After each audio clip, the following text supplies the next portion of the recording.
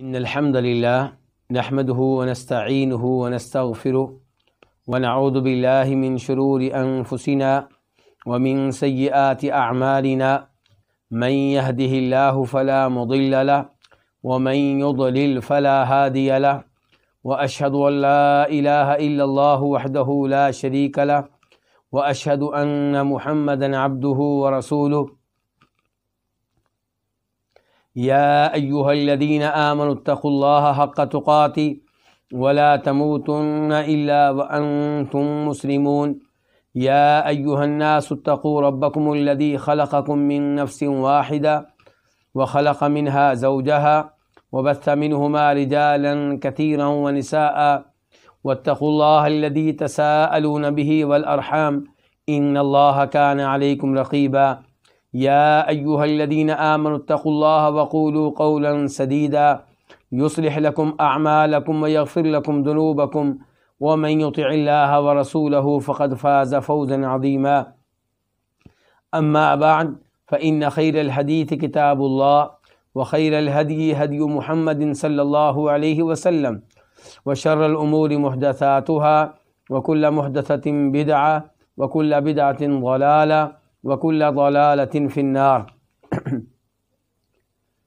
अलवाफ़ी बिमाफ़ सहीहैन सही बुखारी और सही मुस्लिम की अहादीस पे मुश्तमिल वो किताब है, जिसमें अहादीस को इस अंदाज से जमा किया गया है कि अहादीस में तकरार से बचने की कोशिश की गई है और किताब को दस मकासद में तकसीम किया गया है। उनमें से तीसरा मकसद वो है जिसका ताल्लुक़ इबादत से है। और इस मकसद में कई कुतुब हैं।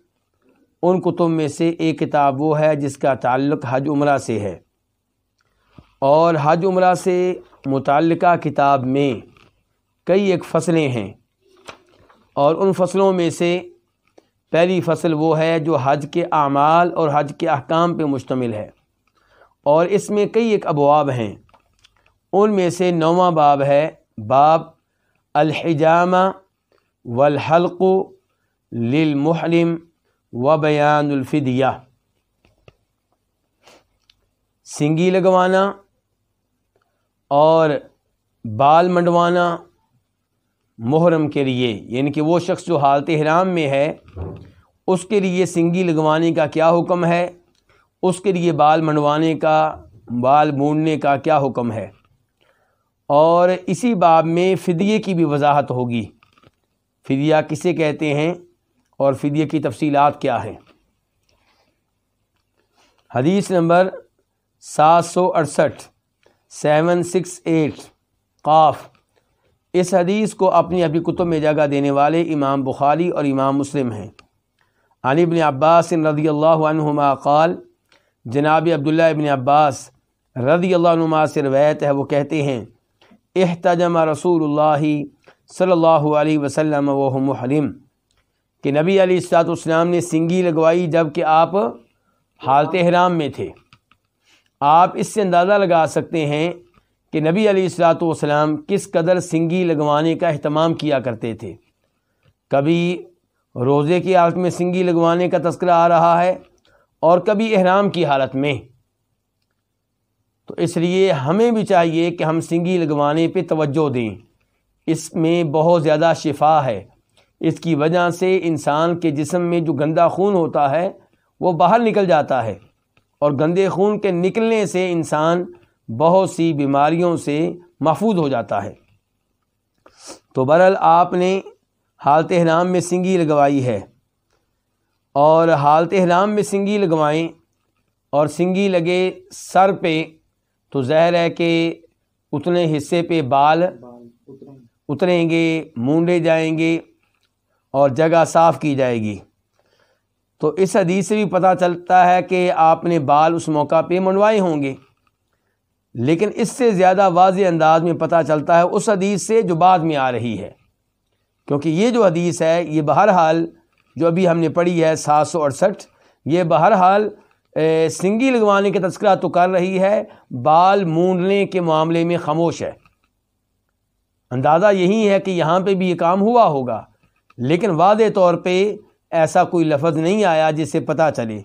लेकिन वो हदीस जो इसके बाद में आ रही है, उसमें तस्करा आ रहा है कि अगर बाल मूंड लिए जाएँ तो अब क्या होगा। तो हदीस नंबर है सात सौ उनहत्तर, सेवन सिक्स नाइन। काफ, इस हदीस को इमाम बुखारी और इमाम मुस्लिम दोनों ने रवायत किया है।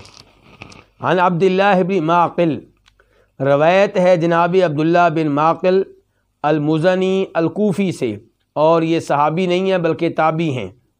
काला, वो कहते हैं काद तो इलाका बिन उजरा तफ़ी हाद मस्जिद, यानी मस्जिद अलकूफ़ा। ये कहते हैं कि मैं काब बिन उजरा के पास बैठा इस मस्जिद में। इस मस्जिद से मुराद कौन सी मस्जिद ले रहे थे? कोफा की मस्जिद। फ़सल तो अन फिदिया मिन सयाम। तो मैंने उनसे सवाल किया रोदों के फिदिया के बारे में, बल्कि अगर आप यूँ कहें कि फ़िदियत मिन सयामिन से मुराद वो ऐत है जो सूरह बकरा में आती है, जिसमें आता है फ़िदियत मिन सयामिन। तो यहाँ चूँकि फ़ा का तस्करा नहीं है तो यूँ लगता है कि जैसे ये रमज़ान के रोज़ों के फ़िदिये के बारे में सवाल हो। लेकिन पूरी हदीस पढ़ें तो पता चलेगा कि यहाँ पे सवाल उन रोज़ों के बारे में नहीं है। यहाँ पे सवाल उन रोज़ों के बारे में है जो तब आप पे वाजब होंगे जब आप अपने सर के बाल मूंद लें। और वाजब इस तरह होंगे कि आपको चॉइस दी जाएगी कि आप ये काम कर लें या वो काम कर लें। और ये वजाहत अभी आ रही है तो अब्दुल्ला बिन माकल मुजनी कहते हैं कि मैंने काब बिन उजरा से सवाल किया, अल्लाह ताला के फरमान, फ़िदियतुम मिन सयाम इनके बारे में। वो ऐत कैसे है? ऐत इस तरह है कि अल्लाह ताला फरमाते हैं फ़िदियतुम मिन सयामिन औ सदक़तिन औ नुसुक। और उससे भी पीछे चले जाएँ तो अल्लाह ताला कह रहे हैं, वला तहलिक़ूसकुम हत्ता यबलुगलहदियो महिल्ला, फ़मन कान मिनकुम मरीदन। जो तुम में से कोई बीमार हो, औ भी अदम रसी ही, या उसके सर में कोई तकलीफ़ हो तो यानी कि बीमार है, या सर में तकलीफ़ है तो सर के बाल मूड़ना चाहता है तो फरमाया फ़िदिया तुम मिन सयामिन। तो उसके ऊपर फ़िदिया है। अब फ़िदिया क्या है? मिन सयामिन रोदे। फ़फ़ीदत मिन सियामिन औ सदक़तिन औ नुसुक। या सदका खैरात और या कुर्बानी करना। यानी कि एक जानवर ज़िबा करना। तो फ़िदिया इन तीन चीज़ों पे मुश्तमिल है, तीन में से कोई भी आप कर सकते हैं। और आपको इख्तियार दिया गया है, आप अमीर हों तब भी, गरीब हों तब भी। तो इस फ़िदिया के बारे में सवाल किया है, ताबी अब्दुल्ला बिन माकल ने, सहाबी का बिन उजरा से। और उनसे सवाल क्यों किया? क्योंकि उनके साथ ये वाक़ पेश आया था। उनके साल में जुएँ थीं तो नबी सलाम की इजाज़त से उन्होंने सर के बाल मंडवा लिए और फिर फिदिया अदा किया था। फ़काल तो वो कहने लगे, कौन कहने लगे? का बिन उजरा, कि हमिल तो नबी अलैहि वसल्लम, मुझे उठा कर लाया गया नबी सलाम के पास। वल कमलु यतनासर वाला वजही, जबकि जुएँ मेरे चेहरे पे गिर रही थीं। यानी कि इस कदर जुएँ पड़ गई थी कि चेहरे पे गिर रही थीं। आप हैरान होंगे कि ऐसा क्यों हो, हुआ होगा। क्योंकि उस ज़माने में जब लोग सफ़र करते थे, रास्ते में नहाने का मौका नहीं मिलता था। तो मदीना से मक्का तक अगर आप नहीं नहाएँगे और छः सात दिन इस हालत में रहेंगे तो तो जुएँ पड़ने का इम्कान रहता है। और कई लोग जो थे, वो किसी ना किसी तरीके से गसल कर लिया करते थे। लेकिन गसल करना बहरहाल आसान नहीं, नहीं था सफ़र में। तो कहते हैं कि जब कि जुएँ मेरे चेहरे पे गिर रही थी फ़काल तो आप फरमाने लगे मा कुन तो उरा अनल जहद कद बलग बिकहादा मेरा ये गुमान नहीं था कि मुशक्क़त तुम्हें इस हद तक पहुँची होगी। मेरा ये ख्याल नहीं था कि तुम्हें इन जुओं की वजह से इतनी इस कदर मुशक्ल का सामना होगा जो अब मैं देख रहा हूँ। अमा तजीदुशातन क्या तुम एक बकरी की ताकत नहीं रखते? यानी कि एक बकरी अल्लाह की राह में ज़िबा कर लो। क्या तुम्हारे पास एक बकरी नहीं है या बकरी ख़रीदने के लिए पैसे नहीं, नहीं है? कुल तो ला मैंने कहा नहीं। यानी कि मेरे पास बकरी ज़िबा करने की इस्तात और ताकत नहीं है। काला तो आपने कहा, सुम सलात अयाम तीन दिन रोज़े रख लो। औ अतम सित मसाकिन, या छः मस्किनों को खाना खिला दो। अब देखें कि अहादीस नबी सलाम की तफसीर करती हैं और अहादीस को लेने वाला ही कुरान पे सही मानों में अमल कर सकता है और कुरान को समझ सकता है। अब कुरान में तो इतना आया कि फ़िदिया है। फ़िदिया क्या जी? रोज़े रखें। या सदका खैरात करें या कुर्बानी करें। रोज़े कितने? कोई तस्करा नहीं है। सदका खैरात क्या? कोई तस्करा नहीं है। और नुसख से मुराद क्या है? नुसख के तो कई माने होते हैं। नुसख का माना कुर्बानी भी होता है, नुसख का माना इबादत करना भी होता है। इसके अलावा भी उसके कई मानी हैं। तो ये वजात हमें फिर कहाँ से मिलती है? अहादीस से मिलती है। अहादीस से बग़ैर सही मानों में कुरान करीम समझना भी मुमकिन नहीं है। और उस पर अमल करना भी मुमकिन नहीं है। तो आप फरमा रहे हैं कि तीन दिन के रोज़े रखो या छः मस्किनों को खाना खिलाओ। कुरान में आया था सदा का बस सदका खिलात। यहाँ पे आया कि छः मस्किनों को खाना खिलाओ लिकुल्ली मिसकीन निसफ़ तामिन। हर मस्किन के लिए होगा आधा सा गले का। गले का आधा सा हर मस्किन को मिलेगा।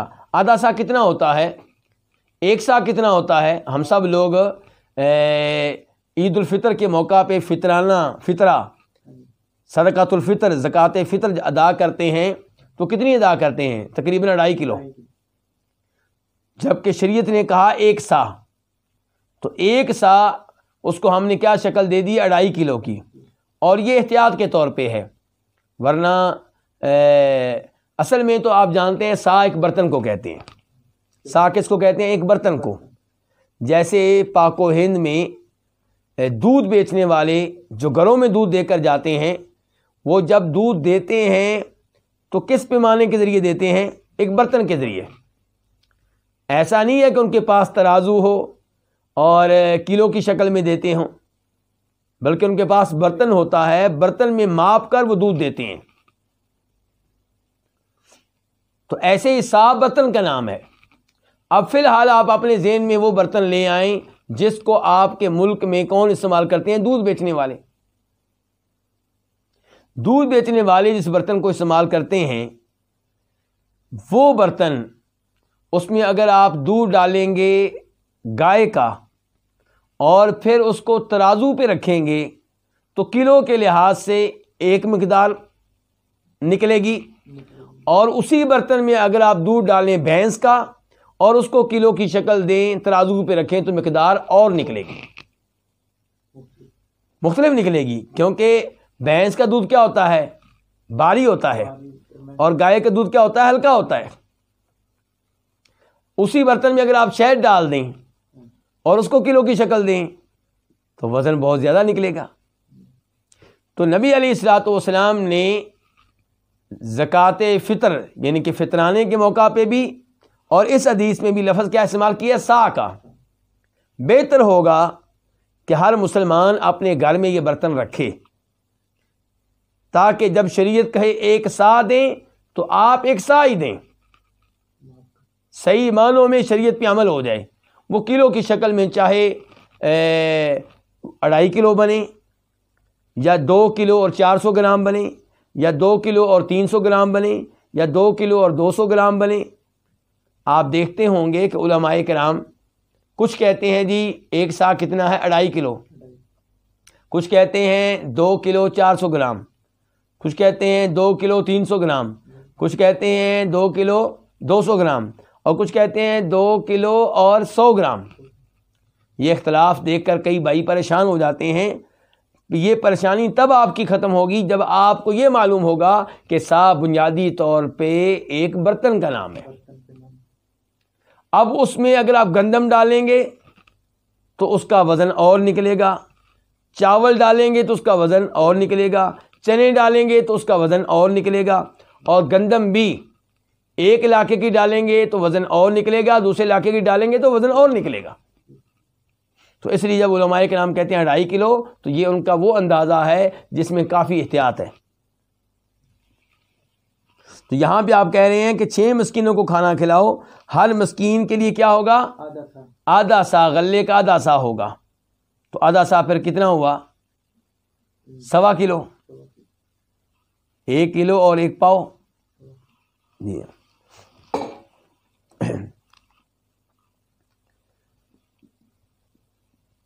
लिख सका और फरमाया, अपने सर के बाल मूंड लो।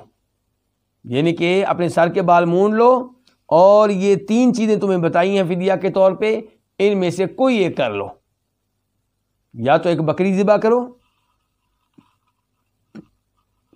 या तीन दिन के रोज़े रखो, या छः मस्किनों को खाना खिलाओ। ये हदीस बयान करने के बाद, हदीस के रावी कौन है? सहाबी कौन है? काब बिन उजरा।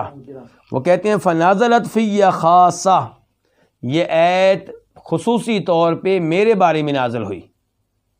ये ऐत ख़ास तौर पे ये सब लोगों के लिए नाजल नहीं हुई। मेरे बारे में मेरा वाक़ मेरा साथ ये वाक़ पेश आया था तो ये ऐत नाजल हुई थी।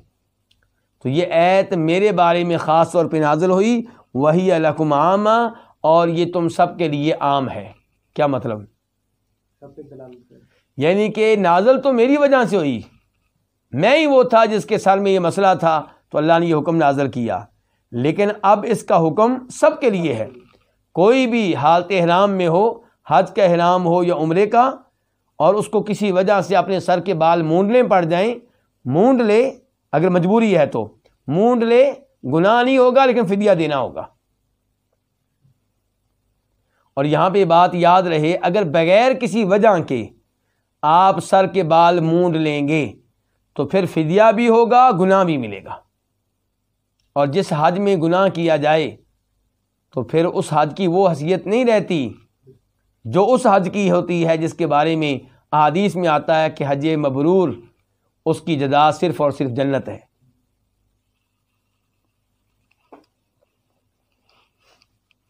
और यहाँ पे ये भी बता दूँ कि अगर कोई गलती से या मसला मालूम ना होने की वजह से अपना कुछ सर का बाल तोड़ बैठे भूल गया था कि मैं हालत हराम में हूँ? या उसको पता ही नहीं कि सर के बाल मूंडने हराम हैं गलत हैं हालत हराम में?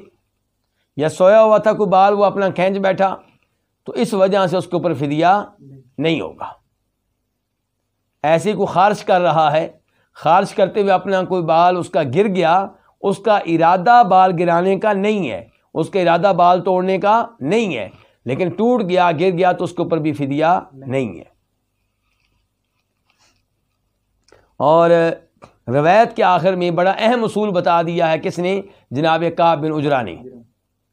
इस असूल को उलमाए के नाम अपने अल्फाज में यूँ अदा करते हैं कि अलबरत बमूम लफ्दी ला बखसूस सबब। कुरान करीम जब आप पढ़ें और देखें कि कुरान करीम का कोई लफ्ज़ आम है क्या है? आम, आम है।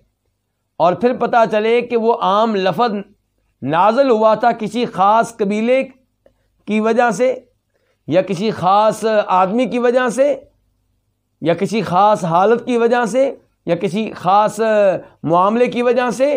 तो चूँकि उस ऐत के अल्फाज आम हैं तो उसका हुक्म आम होगा। सिर्फ़ उस आदमी के लिए नहीं होगा जिसके बारे में नाजिल हुई है। उम्मीद है कि मेरी बात आप ये समझ चुके होंगे।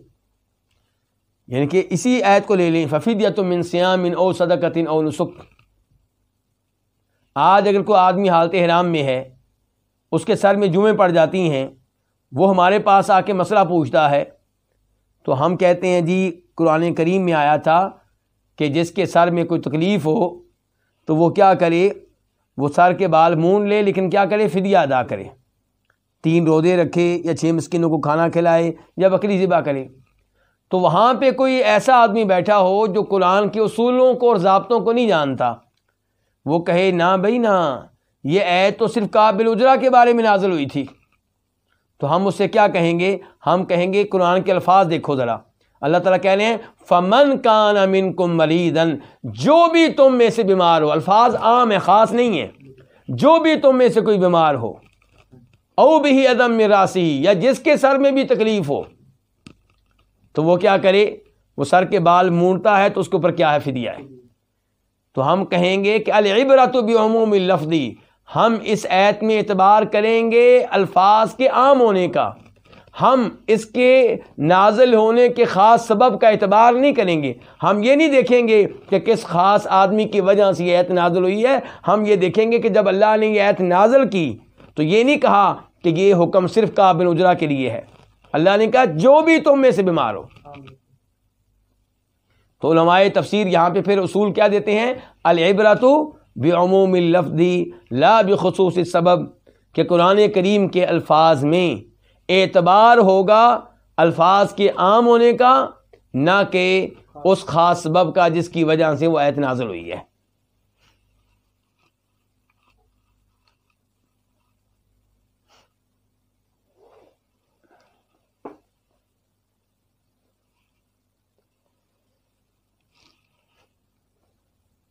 तो बाब क्या था?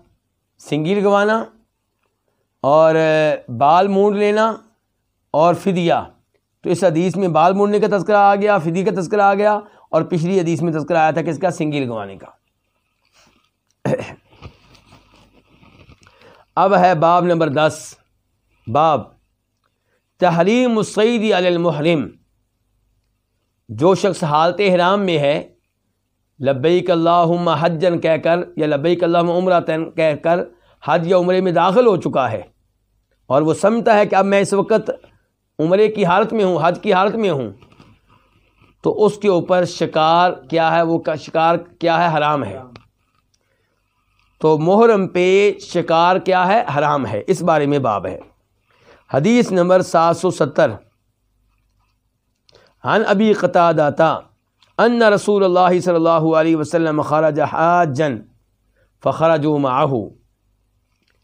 अबू कतादा रज़ी अल्लाह तवैद करते हैं कि बेशक सल्लल्लाहु अलैहि वसल्लम निकले, हाजन बैतुल्ला का कस किए हुए। हाजन का माना मैं क्या कर रहा हूँ? बैतुल्ला का कस किए हुए। क्योंकि हज्जा यहुजू इस लफ्ज़ का जो माना होता है, बुनियादी तौर पे वो क्या होता है? कसद करना, इरादा करना। और आम तौर पे मुसलमान अब लफ्ज़ हज का इस्तेमाल किस पे करते हैं? कि आप हज के महीनों में काबा शरीफ की ज़्यारत के लिए तवाफ़ के लिए जाएँ और मैदान अरफात में भी जाएँ मीना में भी जाएँ मुजफ़ा में भी जाएँ तवाफ़ करें सफ़ा मरवा की सही करें ये पूरे अमल का नाम क्या है? हज। लेकिन हज लफ्ज़ का जो बुनियादी माना है वो क्या है? कसरत करना। तो यहाँ पे खरज हाजन में हम हाज लफ्ज़ का माना लुगवी लेंगे शरी नहीं लेंगे। लुगवी माना क्या है? लफ्ज़ हज का कसर करना। और शरी माना क्या है? कि हज के महीनों में मिकास से नीयत करना अहराम बांधना, और फिर क्या करना? तवाफ़ भी करना, सफ़ा मरवा की सही भी करना, आठ तरीक को मीना में जाना, नौ तरीक को अरफात पे वकूफ़ करना, फिर रात को मुजल्फ़ा में आना, फिर दस तरीक को मीना में आना कंकनियाँ वगैरह मारना, पूरा हज करना। ये क्या हो गया? हज का शरी मफहम। हज का शरी माना। और एक है हज का लुगवी माना, अरबी लुगत के लिहाज से, वो क्या कसरत करना? तो अब यहाँ उसूल ये हुआ करता है, जबता, कि अगर एक लफ्ज़ में जो कुरान में आया, या हदीस में आया है, आपको इश्काल हो रहा है कि आप यहाँ पे इस लफ्ज़ का लुगवी माना लेंगे या शरी माना लेंगे तो कानून ये है, जबता ये है कि शरी माना लिया जाएगा। क्योंकि कुरान शरीयत का नाम है आदीस शरीयत का नाम है कुरान हमें शरीयत सिखा रहा है, अरबी लगत नहीं सिखा रहा। आदीस हमें शरीयत सिखा रही है, अरबी लगत नहीं सिखा रही। तो फिर हम कौन सा माना लेंगे? शरी। लेकिन अगर कोई करीना हो, कोई दलील हो, कोई वजह हो, कोई सबब हो तो फिर हम वहाँ पे लुगवी माना मुराद लेंगे, शरी नहीं लेंगे। जब कोई दलील नहीं होगी, कोई करीना नहीं होगा तो फिर कौन सा माना मुराद दिया जाएगा? शरी। लेकिन जब कोई करीना मिल जाए कोई वजह हो वहाँ पे तो फिर कौन सा माना लिया जाएगा? लुगवी माना लिया जाएगा। तो यहाँ पे हाथ का माना हम क्या ले रहे हैं फिर? लुगवी माना। वजह यह है कि पूरा वाक़ जब आप पढ़ेंगे और इसकी दिगर हदीस पे गौर करेंगे तो आपको पता चलेगा कि इस अदीस में जिस सफ़र का तस्करा हो रहा है वो हज का सफ़र नहीं है। वो उम्र का सफ़र है। वो कौन सा सफ़र है? उम्र का। और ये वो मौका है जब आप हुदैबिया में ठहरे थे। जब आपको मक्का में दाखिल होने की इजाज़त नहीं मिली थी, चौदह सौ साहब कराम के साथ आप उम्र के लिए गए थे। तो इसलिए हाजन का मना फिर हम क्या करेंगे? लुगवी माना। कि रसूलुल्लाह वसल्लम निकले हाजन बैतुल्ला का कस किए हुए। बैतुल्ला का और ये कस उम्र का था कि हज का? उम्र का। फ़खरा जो माहू। तो वो भी आपके साथ निकले। वो कौन? साहबा कराम फ़सरा फ़ताफ़तम मिनहम फ़ी हिम अबू कतादा। तो आपने उनमें से एक ग्रोह को, किन में से? साहबा कराम में से। साहबा कराम में से एक ग्रोह को किसी और तरफ़ भेज दिया। उनमें अबू कतादा भी थे। साहबा कराम का एक ग्रुप आपने अपने रास्ते से हटा के किसी और रास्ते की तरफ़, किसी और रोड की तरफ़ भेज दिया। जिसकी वजाहत ये आई है कि किसी जगह से हमले का ख़तरा था। तो आपने सहाबा कराम के ग्रुप को उधर भेज दिया ताकि ये लोग जायज़ा लें देखें रास्ता साफ़ है कि नहीं साफ़ इधर कोई दुश्मन तो नहीं है। और फिर इनसे कहा कि फ़लाँ जगह पे आके हम एक हो जाएँगे। तो अबू कतादा कहते हैं फसारा फ़तः फ़तः मिनहुम आपने उनमें से एक ग्रोह को फेर दिया भेज दिया। एक और रास्ते की तरफ़ फ़ी हिम अबू कतादा उनमें अबू कतादा भी थे। अबू कतादा कौन है जो ये हदीस बयान कर रहे हैं? रावी। फ़काला तो आपने कहा खुदू साहिर बहरी हत्ता नल तकी समुंदर के किनारे को पकड़ो, यहाँ तक कि हम मिल जाएँ। यानी कि तुम समुंदर के किनारे पे चलते रहो, उस रास्ते को पकड़ लो, उस रास्ते को अपनाओ, उस रास्ते को इख्तियार करो, जो सहल समुंदर के साथ साथ है। फिर आगे चल के हमारी मुलाकात होगी। इसका मतलब ये है कि ये सहाबा नाम मदीना से निकल के किधर चले गए होंगे? बदर वाली जानब, यम्बो वाली जानब क्योंकि ये वो जानब है जो समुद्र के साथ साथ चल रही है। और आगे चल के जद्दा आ जाता है फिर। यह है सहल समुद्र वाला रास्ता। तो आपने कहा, खुदू साहिल बहरी। समुंदर के साहिल को, किनारे को अपना लो, उसको इख्तियार कर लो। हती नल तकी यहाँ तक कि हम आपस में मिलें। फ़ाखद व साहिल बहरी। चुनाचे इन लोगों ने समुंदर के साहिल को इख्तियार कर लिया। किस रास्ते को इख्तियार कर लिया जो समुद्र के साथ साथ चल रहा था? फलमन सरफ़ू, जब ये लोग वापस आए, कहाँ से? सहले समुंदर से। अहरमु कुल्लुहुम तो उन सबने क्या किया? एहराम बाँध लिया, नियत कर ली मुहरम बन गए। वो सारे के सारे हालत एहराम में दाखिल हो गए, इल्ला अबा कतादा, सवाए अबू कतादा के।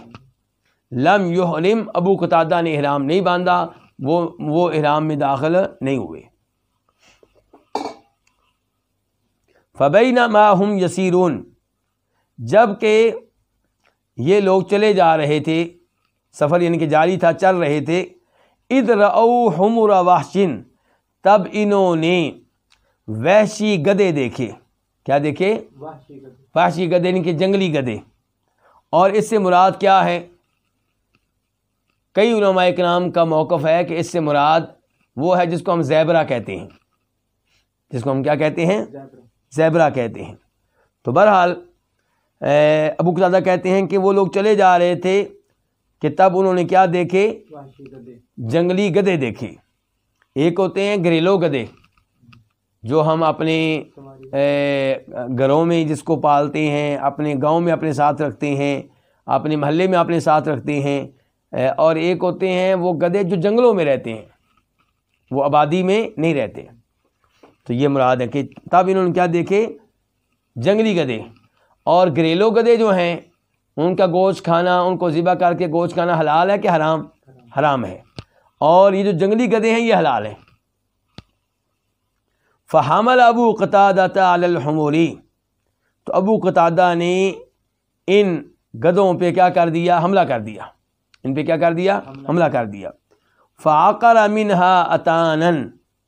तो उन्होंने इन गधों में से एक जो गधी थी, उसे कत्ल कर डाला, उसे ज़ख्मी कर फनाजल फनाजल यानी कि उस गधी के ऊपर काबू पा लिया और उसको उसका शिकार करने में कामयाब हो गए फनाजलो तो ये लोग उतरे। क्या मतलब? अपनी सवारियों से एक जगह उतरे। फ़अकल मिल्लहमिहा तो इन्होंने उस गदी का गोश्त खाया।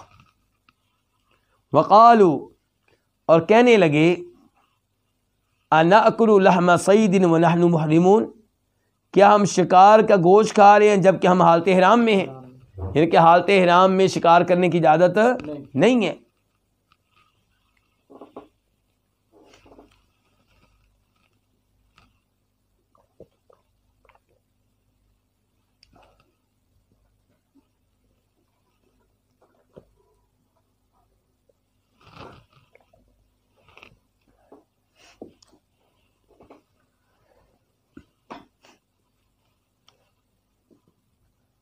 तो कहने लगे अनाकुल्लहमा सईद महरमून?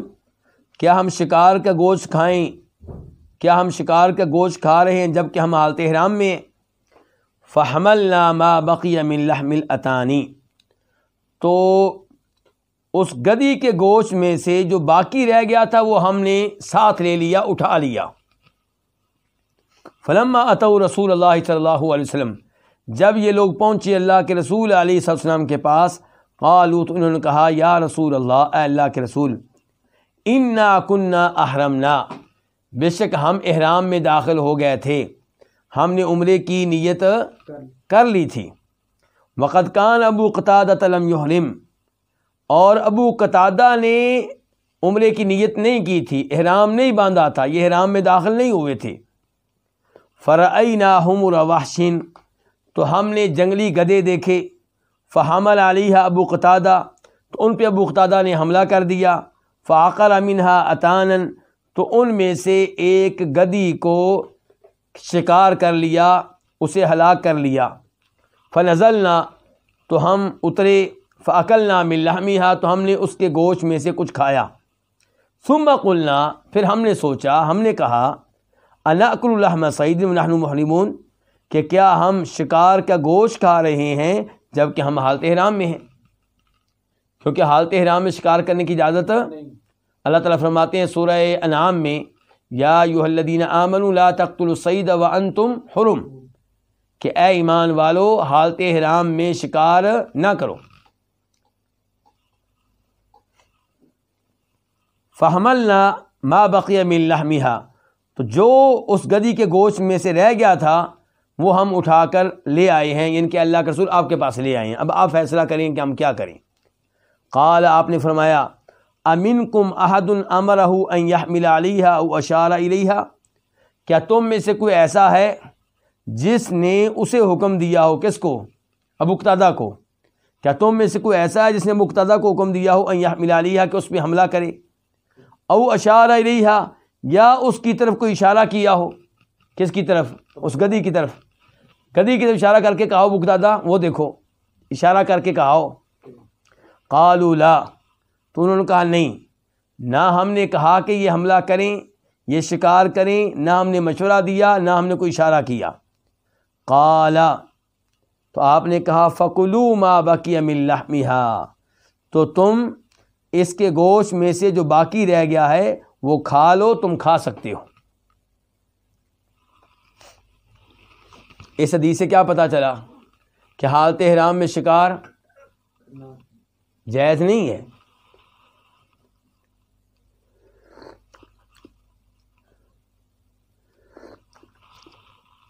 यह भी पता चला कि अगर कोई और शिकार करे और आपने उसे शिकार करने के बारे में ना कहा हो, ना मशवरा दिया हो, ना ताउन किया हो, ना इशारा किया हो और उसने अपने लिए शिकार किया हो उसने किसके लिए शिकार किया हो?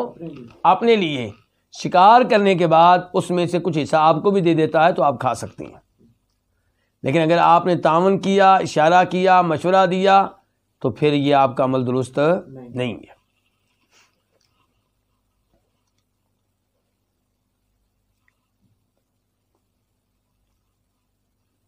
और इससे ये भी पता चला कि जो जंगली गधे हैं उनका शिकार क्या है? दुरुस्त है और उनका गोश्त खाना क्या है? हलाल है जैद है कोई उसमें हर्ज नहीं है। हदीस नंबर सात सौ इकहत्तर सेवन सेवन वन काफ। इस हदीस के बयान करने पे इतफ़ाक़ है किसका? इमाम बुखारी। का और इमाम मुस्लिम का। अनसाबिबनी जसामत थी रवायत जनाब साब बिन जसामा लेथी रदी अल्लाह तु से, कि अनहु अहदा ली रसूल सल्लल्लाहु अलैहि वसल्लम हिमारन वहशिया, कि उन्होंने नबी सलाम को हदीये के तौर पे दिया गिफ्ट के तौर पे दिया, एक जंगली गदा वहू अबिल अबुआई जब आप मकाम अबुआ पे थे या मकाम वद्दान पे थे। मक्का मदीना के दरमियान ये दो मकामात हैं। जसामा, असाब बिन जसामा कहते हैं, या आप अबुआ मकाम पे थे, या वद्दान मकाम पे थे कि मैंने आपको क्या दिया? जंगली गदा दिया।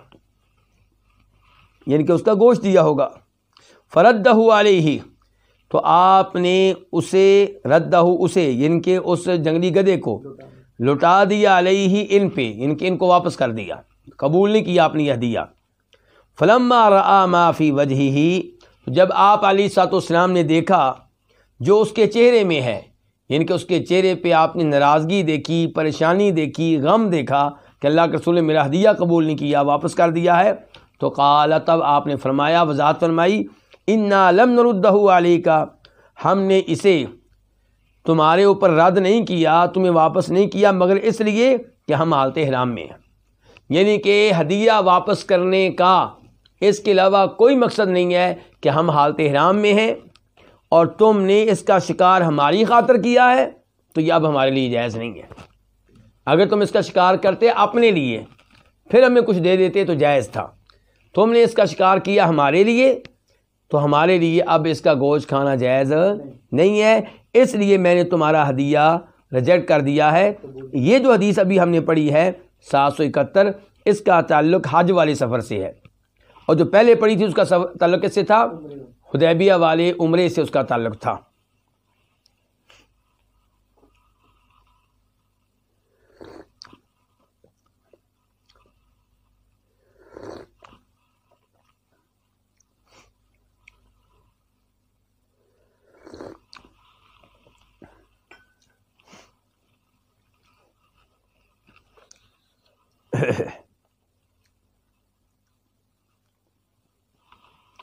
इससे पता चला कि जब आप किसी को या आपको कोई हदिया दे और आप उसे किसी उज़र की वजह से, माकूल उज़र की वजह से वापस कर दें, शरी उज़र हो आपका कोई तो कम अज़ कम वजाहत कर दें ताकि उसके दिल में आपके ख़िलाफ़ गुस्सा पैदा ना हो, बुग्ज़ पैदा ना हो, गलतफहमी पैदा ना हो।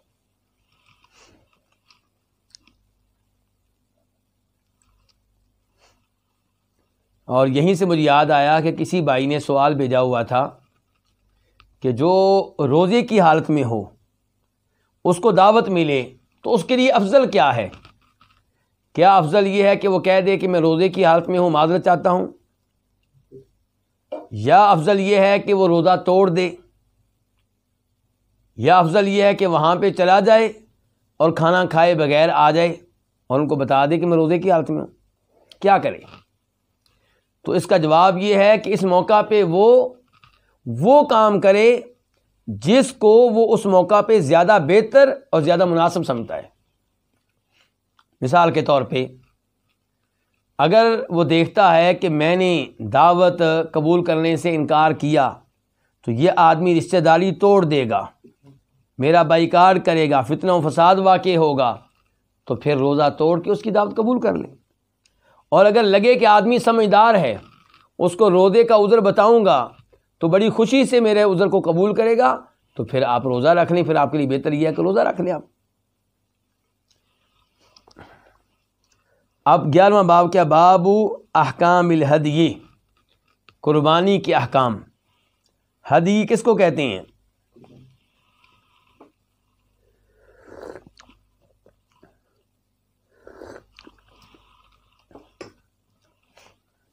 एक लफ्ज़ होता है अलहदी एक लफ्ज़ होता है अलाही उर्दू में दोनों का माना हम क्या करते हैं? कुर्बानी। क्योंकि उर्दू ज़बान इतनी वसी नहीं है कि अरबी के हर लफ्ज़ का अलग से माना कर सके। हकीकत ये है कि अलहदी उस कुर्बानी को कहते हैं जो मक्का में ज़िबा होना होती है हज की वजह से या उम्र की वजह से। हज की वजह से या उम्र की वजह से, जिसका इस चीज़ से ताल्लुक़ उसको अलहदी कहते हैं, और जिसका ताल्लुक़ ईद अजहा से हो, ईद से हो तो उसको क्या कहते हैं? उदहिया और उसकी जमा होती है अदाही फ़र्क समझे आप? तो अभी हम क्या पढ़ने लगे? अहकामुल हदगी किस कुर्बानी के अहकाम फिर पढ़ने लगे हैं?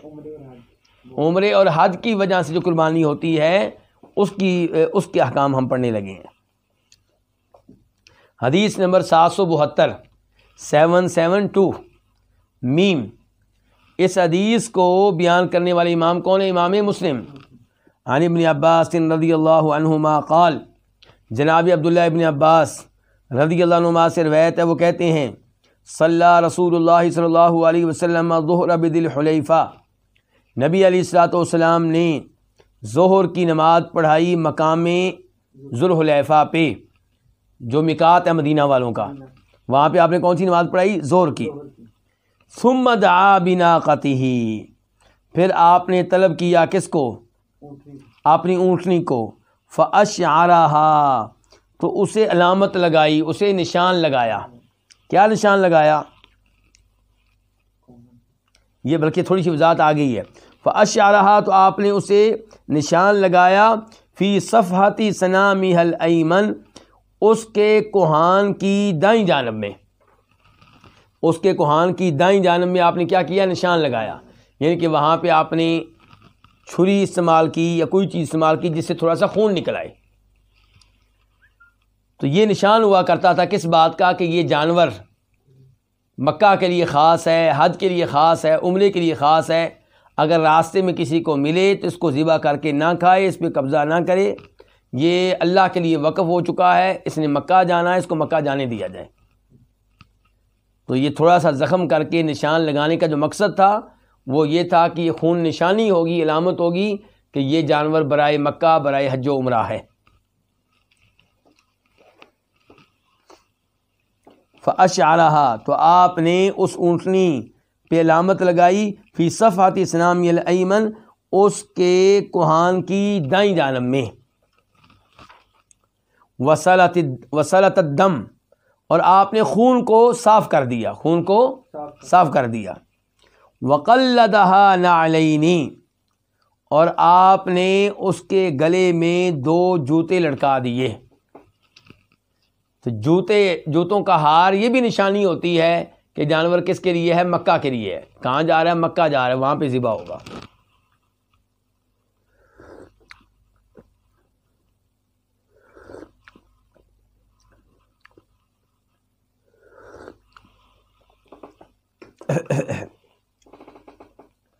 सुम मराकी बरा हिलता हो फिर आप सवार हुए किस पे? अपनी सवारी पे जिसका नाम क्या है? कस्बा। आपकी जो कस्बा ऊँटनी थी उस पर आप सवार हुए। फलम मस्तवत भी अलबैदा जब वो आपको लेकर बैदा पे चढ़ गई। बैदा एक ऊँची जगह का नाम है। जब वो आपको लेकर बैदा पे, मकाम में बैदा पे चढ़ गई तो अहल्ला बिलहजी तो आपने वहाँ पे क्या किया? हज का तलबिया पढ़ा। यानी कि क्या कहा? लब्बईक अल्लाहुम्मा हज्जन, ए अल्लाह, मैं हज के लिए हाज़िर हूँ। लब्बईक अल्लाहुम्मा लब्बईक लब्बईक ला शरीक लक लब्बईक इन अलहमदा वनियमत लक, वल मुल्क ला शरीक लक। आपने हज का ऐलान कर दिया, हज का तलबिया पढ़ लिया। तो इस रवायत से क्या पता चला कि तलबिया कब पढ़ा आपने? जब आप बैद मकाम बैदा पे आपकी सवारी लेके वहाँ पहुँच गई है। और ये रवायत किसकी अब्दुल्ला बिन अब्बास की? आगे देखिए अब। बहरहाल, इस हदीस से क्या साबित हो गया कि कुर्बानी के जानवरों को शार करना, थोड़ा सा ज़ख्मी करके, खून निकाल के, खून उन्हीं के ऊपर लगा देना ताकि पता चले कि जानवर वक़ हो चुका है, मक्का जा रहा है, वहाँ पे ज़िबा होगा। तो ये अमल दुरुस्त है, उसकी गर्दन में जूतों का हाल लटका दें, ये भी दुरुस्त है। और ये काम नबी अली सतुस्लाम ने किया है, जिनसे बढ़कर कोई रहमतुल्लामीन जिनसे बढ़कर कोई रहमत नहीं है।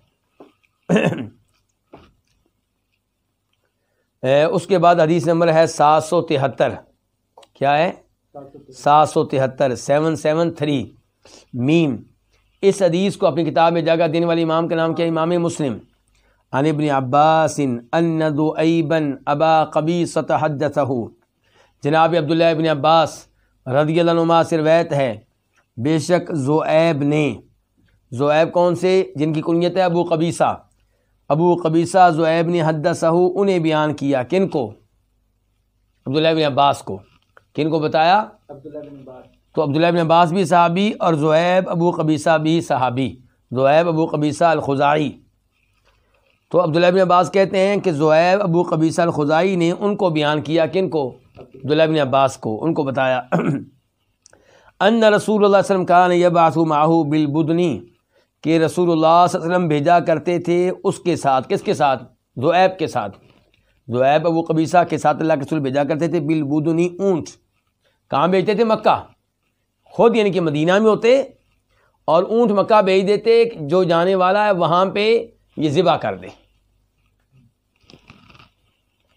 सुम यकूलू फिर आप फरमाते इन आतिबा मिनहा शई उन इनमें से अगर कोई हलाक हो जाए इनमें से अगर कोई क्या हो जाए? हलाक। हो जाए। फ़खशीत आलही मौतन हलाक हो जाए से मुराद क्या है? हलाक होने के करीब हो जाए। हलाक होने के करीब हो जाए। तो आप हमारे इन आतिब आतिबा इन में से कोई चीज़ भी अगर हलाक हो जाए, इनके हलाकत के करीब हो जाए, फ़खशीत आलही मौतन तो आपको उसके बारे में ख़तरा हो किस चीज़ का? मर जाने का। फ़न हर हाथ उसको फिर क्या कर दो? ज़िबा कर दो, ताकि वो हराम ना मरे। शरी तौर पे ज़िबा हो के मरे, उसका गोश्त खाना बाद में क्या हो जाए? हलाल हो जाए।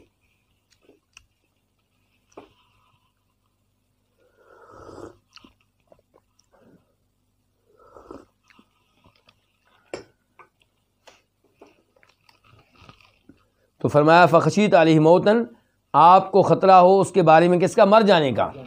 फ़न हर हाथ उसको आप क्या कर दें? नहर कर दें, ज़िबा कर दें। सुम मगमिस नहा फ़ी दमीहा।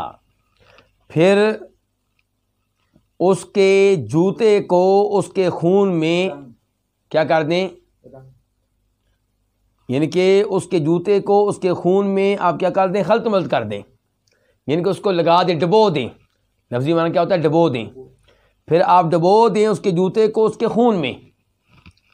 सुम मगलब ही सफ़ाता फिर इस जूते को आप मारें उसके पहलू पे। उसका जूता किसका? उन ऊँटों का। ये गले में क्या है? गले में जूतों का हाथ डला हुआ है ना?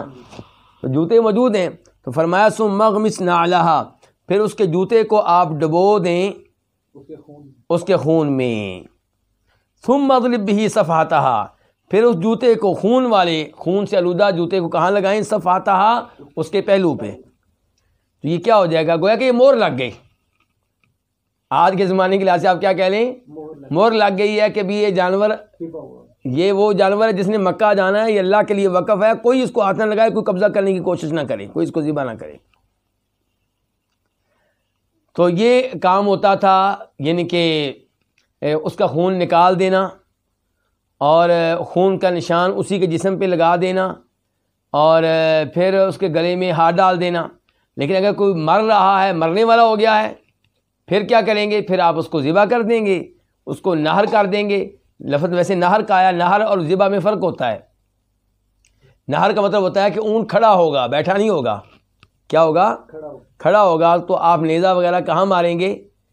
उसकी गर्दन के करीब जो गड़ा होता है वहाँ पे मारेंगे। और इस हाल में कि उसकी अक्सर टांगें क्या होंगी? बंदी हुई होंगी। यानी कि उस वो बंदा हुआ होगा वो बंदा हुआ होगा कुछ टांगें उसकी खुली होंगी और कुछ बंदा हुआ होगा तो आप उसको क्या मारेंगे नेज़ा? तो वहाँ से क्या निकलेगा? खून। खून जब निकलना शुरू होगा तो वो थोड़ी रफ्तार में नहीं निकलेगा। वो फवाले की शक्ल में निकलता है, तेज़ रफ्तारी से। इतना खून जब निकलेगा तो वो गिर जाएगा। तो ये तरीका है ऊँट को क्या करने का? नहर करने का। तो बहरहाल, अगर आप ये तरीका इस्तेमाल ना कर सकें किसी वजह से, और छुरी से उसको लटा कर ज़िबा कर दें तो इन शरी तौर पर वो भी दुरुस्त होगा। ये नहीं होगा कि हम कहेंगे कि वो मुर्दार है या हराम ऐसी बात नहीं है। तो फरमाया कि अगर आप इस जानवर से डरते हैं कि मरने वाला है तो आप इसको ज़िबा कर देते हैं, नहर कर देते हैं तो आप उसके जूते को उसके खून में भगो दें, फिर उस जूते को उस, उसके पहलू पे लगा दें।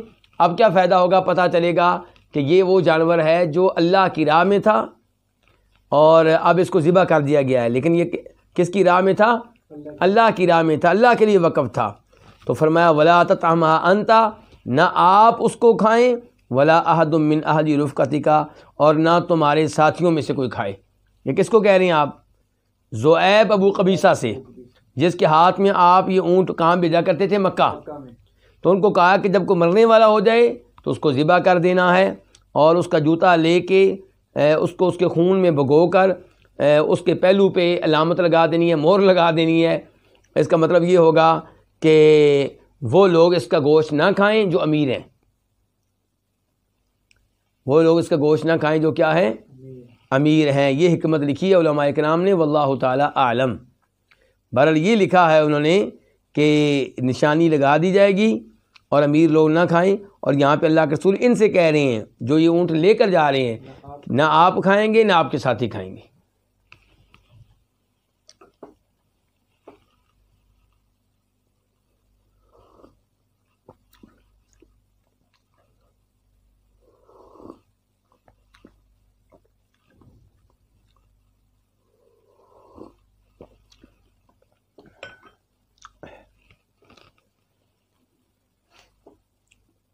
उसके बाद हदीस नंबर सात सौ चौहत्तर।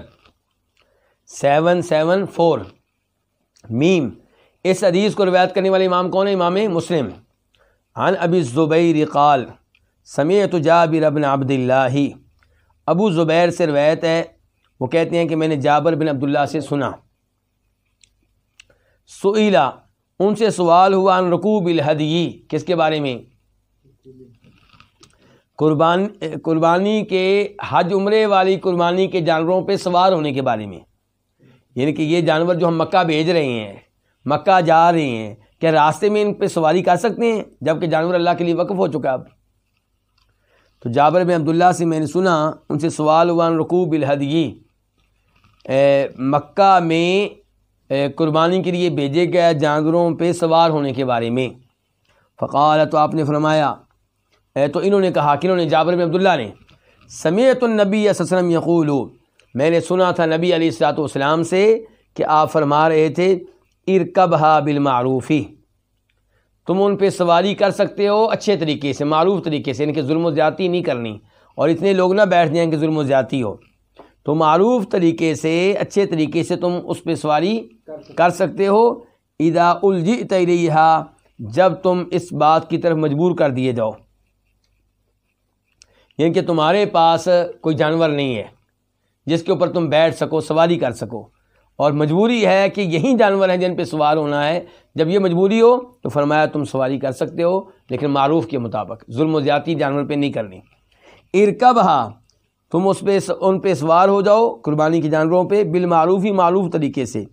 इदा उलझी तरीहा जब तुम उन पे सवार होने की तरफ़ मजबूर कर दिए जाओ।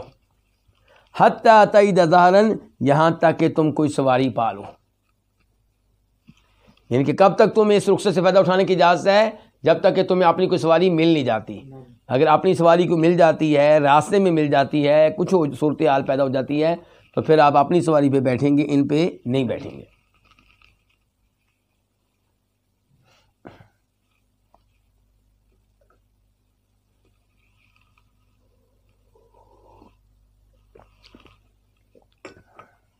तो ये अहकाम थे किसके? उन जानवरों के जो मक्का भेजे जाते हैं ताकि वहाँ ज़िबा हों, हज के मौका पे या उम्र वगैरह के मौका पे।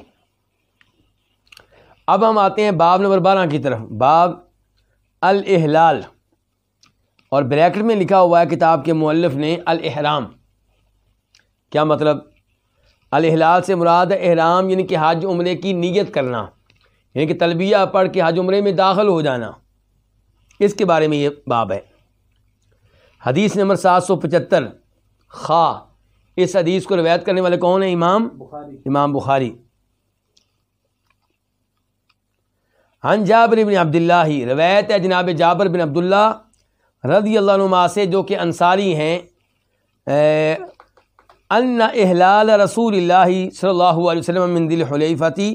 ही नस्तवत बिही राहिलत हो बेशक नबी अलैहिस्सलाम का तलबिया पढ़ना मकाम ज़ुलहलैफ़ा से, आपका मकाम ज़ुलहलैफ़ा से तलबिया पढ़ना कब था, किस मौका पे था? यानी कि आप जब वहाँ पहुँचे तो आपने कब तलबिया पढ़ा? तो ये कहते हैं जाबर बिन अब्दुल्ला कि बेशक रसूल असम का मकाम ज़ुलहलैफ़ा से तलबिया पढ़ना ही ना, उस वक़्त था इस सबत भी राहलत हो, जब आपकी सवारी आपको लेकर सीधी खड़ी हो गई। और हदीस नंबर सात सौ बहत्तर में क्या आया था? उसमें अब्दुल्ला बिन अब्बास कह रहे थे, सात सौ बहत्तर, सेवन सेवन टू के आखिर में, कि आप अपनी सवारी पे बैठ गए। जब आपकी सवारी आपको लेकर बैदा मकाम पे चढ़ गई तब आपने हज का तलबिया कहा था। किसका तलबिया कहा था? हज का। और यहाँ पे जाबर में अब्दुल्ला क्या कह रही हैं? कि अल्लाह के रसूल सलाम का मकाम ज़ुलहलैफ़ा से तलबिया पढ़ना उस वक़्त था जिस वक़्त आपकी सवारी आपको लेकर सीधी खड़ी हो गई। आपको लेकर सीधी क्या हो गई? खड़ी हो गई। अब इन दो हदीसों में हम तस्वीर कैसे दें? हदीस नंबर सात सौ पचहत्तर जो भी पढ़ रही हैं सेवन सेवन फाइव ये बता रही है कि जब आप अल्लाह, जब अल्लाह के रसूल अपनी सवारी पे बैठ गया और वो आपको लेके सही खड़ी हो गई तो आपने तलबिया पढ़ डाला।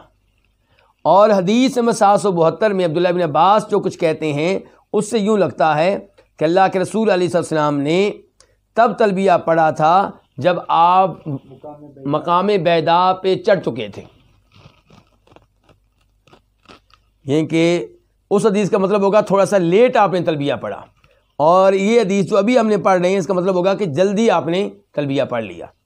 तो के नाम कहते हैं, दोनों में कोई तारज़ नहीं है, दोनों में कोई टकराव नहीं है, दोनों में कोई तनाकद नहीं है। जिस सहाबी ने जो देखा, बयान कर दिया। इसका मतलब यह है कि आपने तलबिया पढ़ लिया था, सवारी के खड़े होते ही। जो ही सवारी आपकी सीधी खड़ी हो गई तो आपने तलबिया पढ़ लिया। चल पड़े। मकाम बैदा पे भी आप तलबिया पढ़ रहे थे, जिसने वहाँ पे सुना, उसने समझा शायद अल्लाह के रसूल ने अभी शुरू किया, पहले शुरू नहीं किया।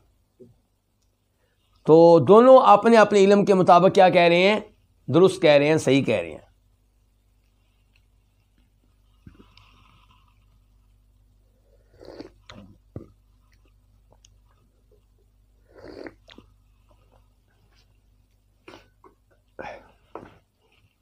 हदीस नंबर सात सौ छिहत्तर।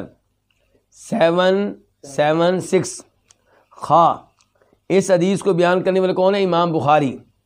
हन अनसिन रदी अल्लाह काल, जनाब अनस इबन मालिक रदी से रवायत है, वो कहते हैं, सल्ला रसूल सल्लल्लाहु अलैहि वसल्लम व नहनु माहू अरबा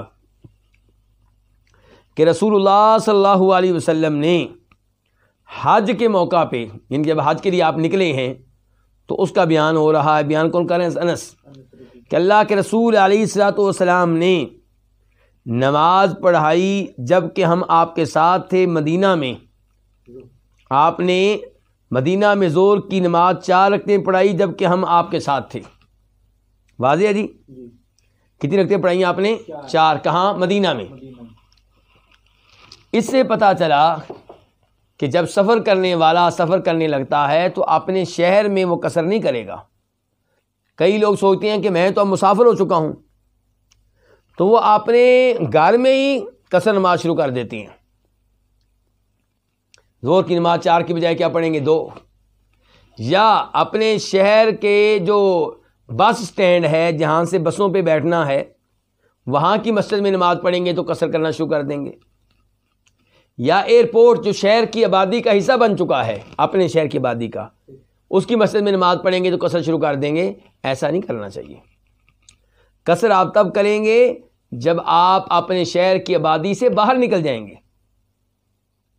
जब तक आप अपने शहर की आबादी में आपको कसर करने की इजाज़त नहीं है, चाहे आपका शहर जितना भी बड़ा हो। तो यहाँ पे अनस क्या कहते हैं? अल्लाह के रसूल अलैहिस्सलाम ने जब कि हम आपके साथ थे मदीना में जोहर की नमाज़ कितनी पढ़ाई? चार। रखते। हैं वल आसरा बिदिलफ़ती रकातनी।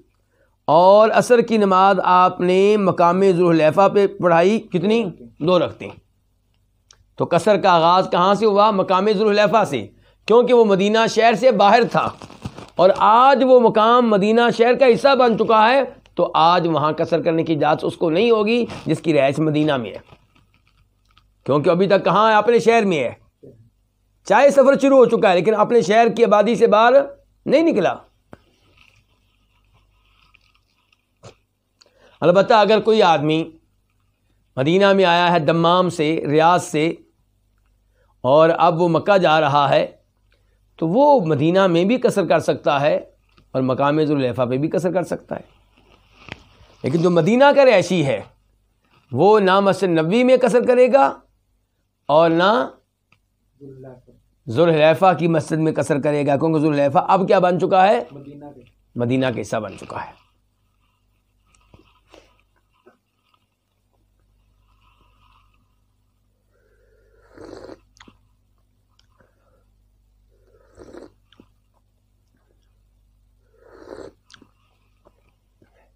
यहीं से मुझे वो असूल याद आ गया। जो कराम बयान करते हैं, नबी सलाम की इत्तबा के सिलसिले में कि आपकी इतबा कैसे करनी है, आपकी पैरवी कैसे करनी है।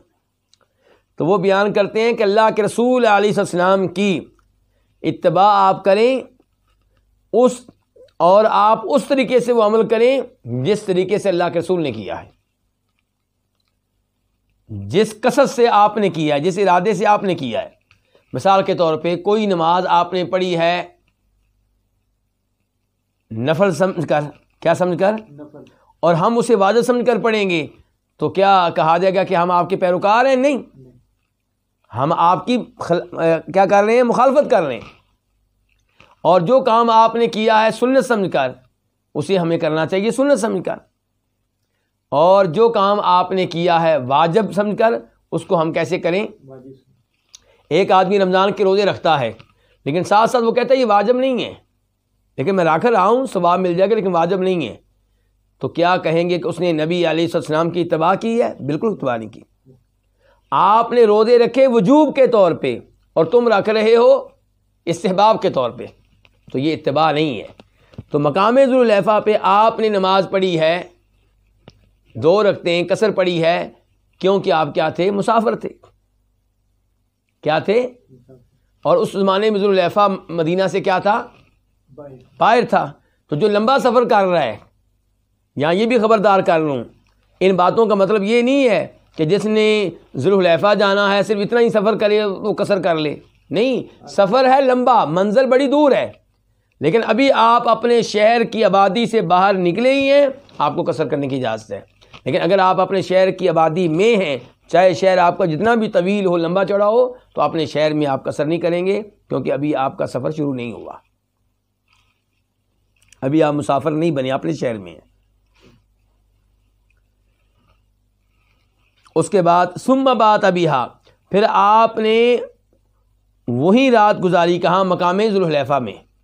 रात वहाँ पे गुजारी। हत्ता असबहा यहाँ तक कि सुबह हो गई सुबह कर ली आपने। यहाँ तक कि आपने सुबह कर ली। और यहाँ पे कुछ अल्फाज जो मुस्लिम शरीफ में आए हैं, आपके सामने रखना चाहूँगा। बुखारी में वो नहीं आए कि आपने ज़ोर की नमाज़ पढ़ी? आपने क्या किया? ज़ोर की नमाज़ पढ़ी और फिर आपने अपनी ऊँटनी को तलब किया और उस पर निशानी लगाई, अलामत लगाई। ये कैसे? खून निकाल के और, यानी कि खून निकाला जिससे पता चल गया कि ये जानवर जो है किसके लिए है, मक्का के लिए है हज उम्र के लिए, अल्लाह के लिए। तो यहाँ पे क्या कह रहे हैं अनस कि आपने वहाँ पे रात गुजारी हती कि आपने सुबह कर ली। सुम राकीबा, फिर आप सवार हुए किस पे? अपनी सवारी पे। हतस्तवत भी आलबैदा यहाँ तक कि वो आपको लेकर बैदा पे चढ़ गई। आपको लेकर कहाँ पे चढ़ गई? मकाम बैदा पे चढ़ गई। हामिद अल्लाह तो आपने तब क्या किया? अल्लाह की हम दोसना बयान की, अल्लाह की तलीफ़ें बयान की। वसब्बहा, और आपने क्या किया? अल्लाह की तस्वीर बयान की सुबहान अल्लाह कहा। वकबरा और आपने अल्लाह की किबरियाई बयान की, बड़ाई बयान की। क्या कहा? अल्लाह अकबर। तो गया कि आपने उस वक़्त अल्हम्दुलिल्लाह भी कहा सुबहान अल्लाह भी कहा, अल्लाह अकबर भी कहा। सुम हल्ला भी हजिन व उम्र, फिर आपने हज और उम्र का तलबिया पढ़ा। हज और उम्र का क्या किया आपने? तलबिया पढ़ा। तो इस वैसे ही पता चला कहाँ पे पढ़ा है, मकाम बैदा पे। लेकिन पहले वजात हो चुकी है, जिसने जो देखा वो बयान कर दिया। जिसने जो देखा वो बयान कर दिया।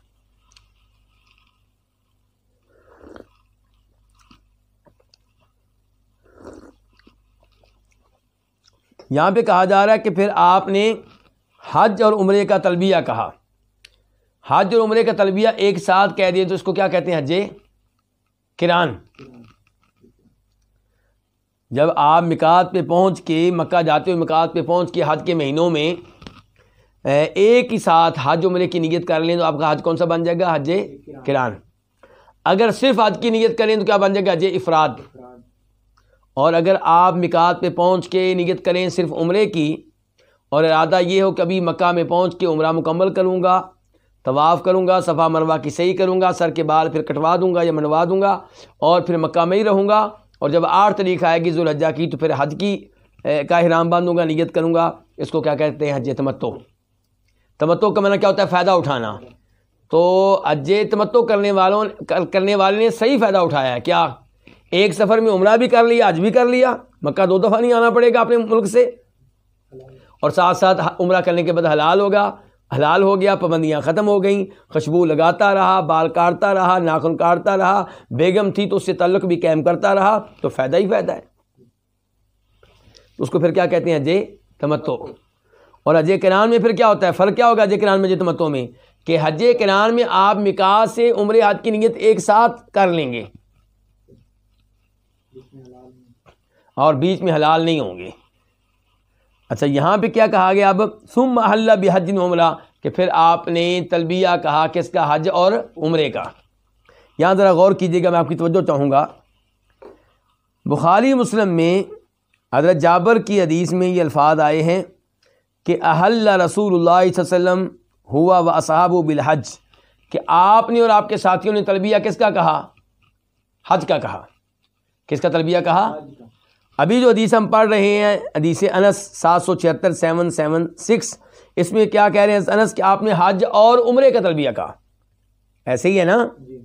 और ये बुखारी मुस्लिम के हदीस इसको जाबर वैद करते हैं। उसमें क्या है कि अल्लाह के रसूल इस्लाम ने और आपके साहबा के नाम ने तलबिया कहा किसका? हज का। उम्र का तस्करा नहीं।, नहीं है। अच्छा एक और रवैत बुखारी मुस्लिम में उसे बयान करने वाले अब्दुल्ला बिन उमर और वो कहते हैं कि लब्बा बिल हजी वाहदऊ आपने सिर्फ़ हज का तलबिया कहा। अब ये दोनों दिशें एक जैसी हो गई। जाबर भी, अब्दुल्ला बिन उमर भी। वाइंद खैनी और बुखारी मुस्लिम में ही अब्दुल्ला बिन उमर से रवायत है कि अनहु कान कि आप तो हज तमत्तो कर रहे थे। आप कौन सा हज कर रहे थे? हजे हज तमत्तो में क्या होता है? उम्र भी और हज भी, लेकिन उम्र अलग और हज अलग। दरमियान में वक्फा होता है। और बुखारी मुस्लिम ऐशा से रवायत है कि तमत्तान नबी सल्लल्लाहु अलैहि वसल्लम बिलउमरतिल हजी आपने उम्र भी किया और हज भी किया। और इसको क्या कहते हैं जे? तमत्तो। और उसमें यह भी आया कि वह तमत्ता नासुमाहो कई लोगों ने भी आपके साथ जे तमत्तो किया। अब इमाम नबवी रहीमहुल्ला इमाम नववी इमाम नववी रहीमहुल्ला अपनी किताब अलमजमू में फरमाते हैं कि दुरुस्त बात जिसका जिसकी जिसका हम नज़रिया रखते हैं दुरुस्त बात जिसे हमने अपनाया हुआ है वो ये है कि आपने पहले पहल सिर्फ़ हज की नीयत की। किसकी नीयत की? हज की। फिर आपने उम्र की भी नीयत कर ली तो उम्र को हज पे दाखिल कर दिया। पहले नीयत किसकी की थी? हज की। फिर उम्र का भी प्रोग्राम बन गया तो उम्र को हज पे क्या कर दिया? दाखिल कर दिया। अच्छा जी, फसार कारीन तो अब आप क्या बन गए हज किरान करने वाले? एक हज करान ये है कि आप मिकास से एक साथ उम्र और हद की नीयत करें और कुर्बानी के जानवर साथ लेकर जाएँ। दूसरा तरीका ये होता है कि आपने नीयत तो की थी मिकास से किसकी? हद की। आगे चल के आप उम्र की भी नीयत कर लें तो गोया कि आपने हज में उम्र को भी दाखिल कर दिया। तो इमाम नबी कहते हैं, दुरुस्त बात यह है कि आपने पहले पहल किसकी नीयत की? अजय इफराद की, सिर्फ़ हज की। फिर आपने उस पर उम्र को दाखिल कर लिया तो कौन सा हज बन गया? अजय किरान। तो इमाम नबी कहते हैं, अपनी गुफ्तु को जारी रखते हुए तो जिसने रवायत किया है कि आपने अकेला हज किया, और ये रवायत करने वाले अक्सर लोग हैं तो उसने अतमाद किया है एहराम के आगाज़ पे, कि आगाज़ पे जब आपने नीयत की थी मिकास से, तब आपने नीयत किसकी की थी? हज की। और जो ये कहता है कि आपने हज किरान किया तो उसने ये देखा है कि बाद में, आखिर में जब आपने हज किया तो हज किरान बन चुका था। चाहे मिकास से नीयत नहीं थी उम्र की, बाद में उम्र की नीयत कर ली गई, अब जो हज किया आपने कौन सा किया? हज किरान किया।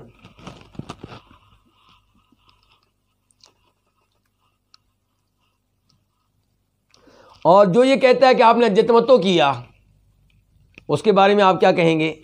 उसके बारे में आप ये कहेंगे कि वह तमत्तो से मुराद हज किरान ले रहा है। क्योंकि तमत्तो का मैंने क्या होता है? फ़ायदा उठाना। हज किरान करने वाला भी कुछ ना कुछ फ़ायदा उठाता है।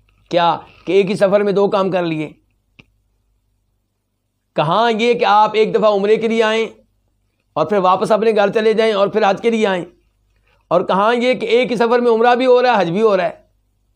तो ये क्या है? इसको इस लिहाज से अजय किरान को क्या कह लेते हैं अजय? तमत्तो। कुरान करीम में क्या आता है? फमन तमत्ता बिल उम्रती हजी फमस्तई सरम हदी फमन तमत्ता उम्रती हज। जो उम्र और हज दोनों काम करे तो उसके ऊपर क्या है? कुर्बानी वाजब है। यानी कि अजय तमत्तो करने वाले पे भी कुर्बानी वाजब है, अजय किरान करने वाले पे भी। तो वहाँ पे जो तमत्तो का लफ्ज़ इस्तेमाल हुआ है वो हज किरान पे भी है और हज तमत्तो पे भी है। हर उस शख्स पे जो एक ही सफ़र में उम्र भी कर रहा है हज भी कर रहा है।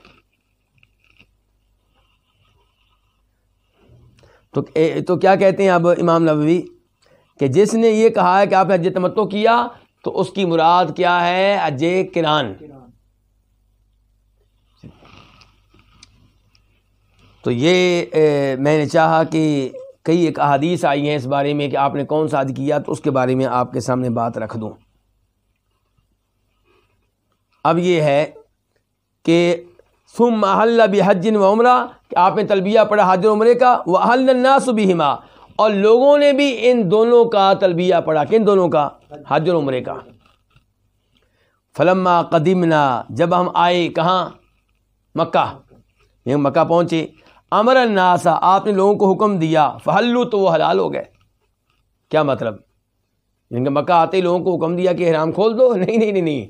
मुराद इससे ये है कि जब मक्का आए, लोगों ने तवाफ़ कर लिया, सफ़ा मरवा की सही कर ली, आपने कहा भी सर के बाल कटवाओ और हलाल हो जाओ।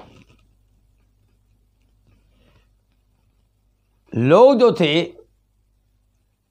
वो एक सफ़र में हज और उम्र के बारे में, यानी कि तरद का शिकार थे। क्या थे? तरद क्योंकि पुराने ज़माने में, जाहिलियत के ज़माने में, हज के महीनों में उम्र करना जुर्म समझा जाता था। हज के महीनों में उम्र करना क्या समझा जाता था? जुर्म। और अब नबी सलाम कह रहे हैं कि तुम एक ही सफ़र में और इन्हीं अयाम में उम्र भी करो, हज भी करो। तो इसलिए आपको फिर हुक्म देना पड़ा। आपने लोगों को हुक्म दिया तो वो क्या जो जो जानवर लेकर नहीं आए थे जो जो हज के लिए हज की कुर्बानी के लिए जानवर लेकर नहीं, नहीं आए थे उनसे आपने कहा कि तुम लोग हलाल हो जाओ। फ़हल्लू तो वो हलाल हो गए। एहराम खोल दिया एहराम की पाबंदियों से आज़ाद हो गए। उनके लिए इनकी खुशबू भी जायज़ हो गई बाल कटवाने मनवाने भी क्या हो गया जायज़ हो गए और नाखन कटवाने भी जायज़ हो गए उनके लिए उनकी बीवियाँ भी जायज़ हो गई। हत्ता कान योम तरविया यहाँ तक कि योम तरविया आ गया। कौन सा दिन आ गया?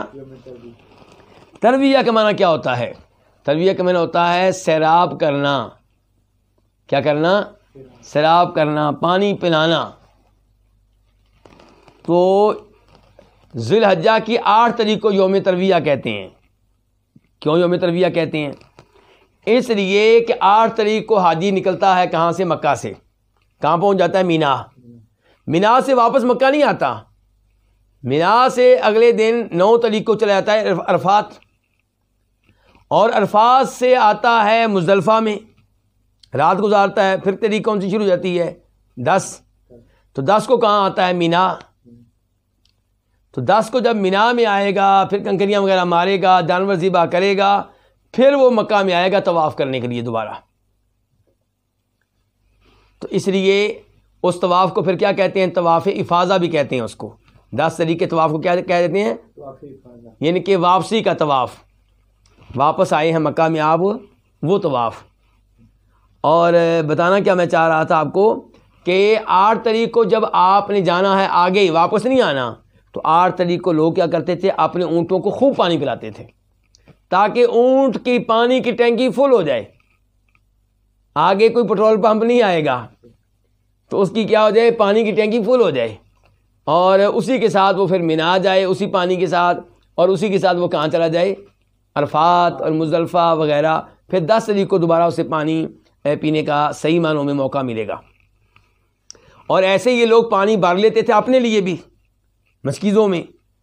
तो इसलिए इस दिन का नाम फिर क्या रखा गया? योम तरविया। तो ये तारीख कौन सी बनती है? आठ तारीख। तो कह अब ये साहबा के नाम हलाल रहे उम्र करने के बाद कब तक? आठ तारीख तक। कब तक? और आप पहुँचे कब थे मक्का? चार तारीख को। कब पहुँचे थे? चार जी हज्जा को आप मदीना से मक्का पहुँचे थे। तो ये लोग आठ तारीख तक क्या रहे? हलाल रहे। हती कान योम तरविया यहाँ तक योम तरविया आ गया। तो अहल्लू बिलहजी जब योम तरविया आया तो तब इन्होंने हज का तलबिया पढ़ा। हज की नीयत की।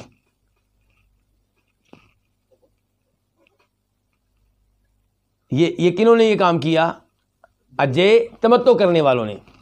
ये कि जो पहले उम्र कर चुके थे, दरमियान में हलाल हुए, अब उन्होंने तलबिया पढ़ा किसका हज का। और अजय किरान वाले, वो तो पहले आलते हराम में हैं। वो तो बैतुल्ला में आए, तवाफ़ किया, सफ़ा मरवा की सही की, लेकिन बाल नहीं कटवाए, हलाल नहीं हुए हालत हराम में। और यही सूरत हाल है, उनकी जो हज अफराद कर रहे हैं, सिर्फ़ हज कर रहे हैं। हज अफराद और हज किरान में कोई फ़र्क नहीं है, सवाए कुर्बानी के। जी हाँ। काला हस अनस कहते हैं, व नहारन नबी सल्लल्लाहु वसल्लम बदनातिन बियदिही क़ियामन। और नबी सलाम ने कई ऊँट नहर किए, यानी कि वहीं खड़ा करके नेज़ा मार के उसे गिराना और फिर सारा आगे करना। तो आपने कई ऊँट ज़िबा किए नहर किए बियदी अपने हाथ से। क़यामन इस हाल में कि वो ऊँट खड़े थे। नहर जब आपने किया उनको बिठाया नहीं बल्कि खड़े थे। खड़े थे। वज़ाबा रसूल वसम बिलमदीनती कबशैनी अमलाहनी और रसूल वसम ने मदीना में यानी कि ईद अजी के मौका पे मदीना में अब हाजी के लिए तो ईद नहीं होती ना। ये बात की बात हो रही है कि जब आप मदीना में थे, वहाँ पे ईद अजी अदा की तो उसकी तस्करा हो रहा है, आखिर में। हदीस का आखिरी हिस्सा इनके। और अल्लाह के रसूल सलाम ने मदीना में दो खूबसूरत मेंढे ज़िबा किए। कबशैनी मेंढी अमलाइनी खूबसूरत, बुनियादी तौर पे अमलाह। उसको कहते हैं जो बहुत सफ़ेद हो और उसमें कहीं कहीं स्या रंग हो। तो ऐसा जानवर कैसा लगता है? बहुत प्यारा लगता है।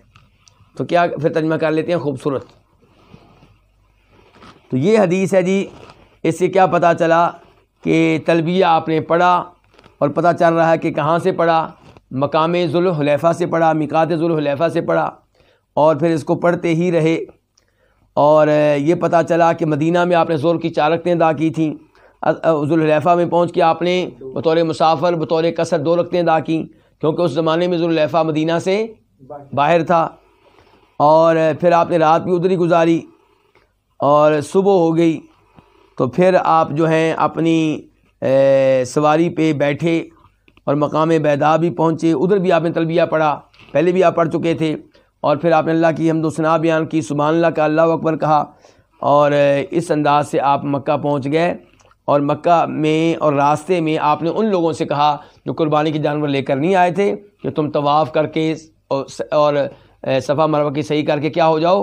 हलाल। हो जाओ बाल कटवा लो मंडवा लो तुम्हारा उम्र बन जाए और फिर आठ तरीक को तुम हज की नियत कर लेना तलबिया पढ़ लेना।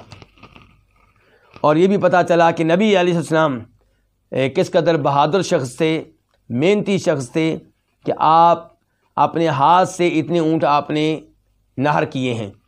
टोटल ऊँट जो आपकी तरफ़ से नहर हुए, ज़िबा हुए हज के मौका पे वो कितने थे? सौ। कितने थे? सौ। और उस मौका पे आपकी उम्र कितनी थी?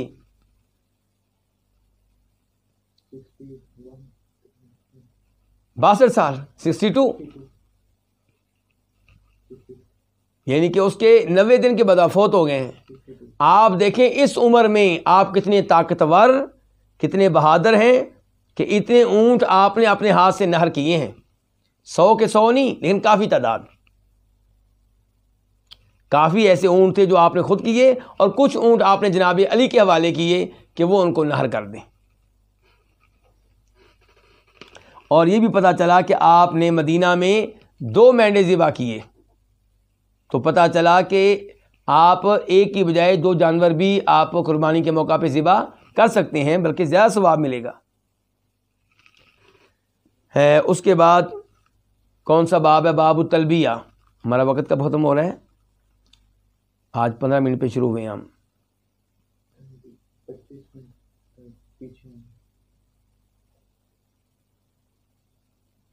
इनके अभी हमारे दस मिनट शायद बाकी हैं।